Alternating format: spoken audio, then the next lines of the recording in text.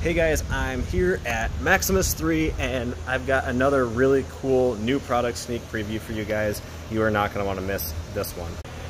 You can probably see it behind me here on this Jeep, but they are working on a snorkel. And yes, just about every company's got a snorkel, but what makes this one different? The first thing you're going to notice is the logo, very stylish logo and an overall stylish design. But style isn't everything, function is paramount. This right here is a removable plastic cowl. This comes on the JL. They're relatively inexpensive and they punch a hole through that rather than the tube style that comes up and punches a hole in your hood. Under the hood, there is piping and plumbing that goes to the factory airbox. You don't have to replace the factory airbox to run with this snorkel. Additionally, there is a style line right here. This is gonna mimic the windshield. So you're gonna continue that style all the way up into the snorkel. Snorkels are gonna give you colder air, cleaner air, and they should help with water